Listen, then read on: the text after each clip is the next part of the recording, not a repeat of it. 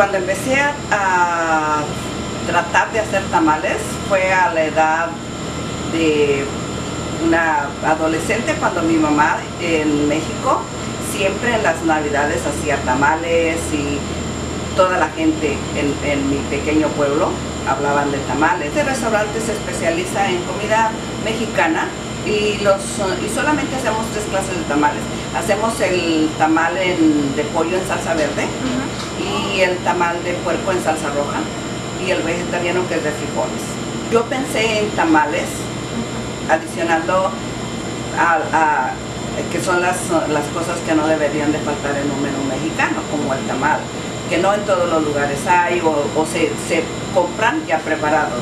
So, aquí los tamales se hacen en, hechos en casa. Para mí era, es siempre como, ok, la, la, la, historia de, de, todo el mundo, todo, todo, todos los vecinos, toda la gente, hacer los tamales y que los íbamos a reunir tomando chocolate, atoles y haciendo fogatas para, para las, las, fiestas de Navidad. Son tradiciones que, que, hacer el tamal, por ejemplo, para mí, y, y, yo veo, por ejemplo, mi hija quiere hacer tamales.